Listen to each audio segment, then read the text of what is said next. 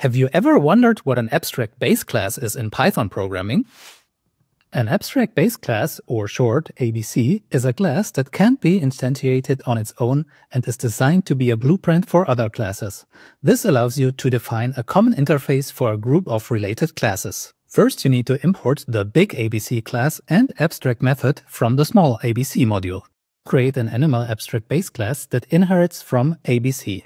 Inside the animal abstract base class, you can use the abstract method decorator to mark methods that must be implemented by subclasses.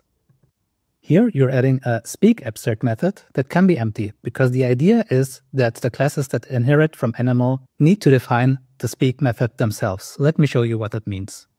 Create a concrete class named dog that inherits from animal. Don't add any additional methods just yet. When you try to instantiate the dog class and run the Python file, you'll get an error because you're attempting to instantiate a subclass that hasn't implemented all abstract methods from the abstract base class that it inherits from. To make the code work, you need to add a speak method to the dog class. When you run the Python file again, your code works. Abstract base classes are useful for ensuring that derived classes implement particular methods from the base class.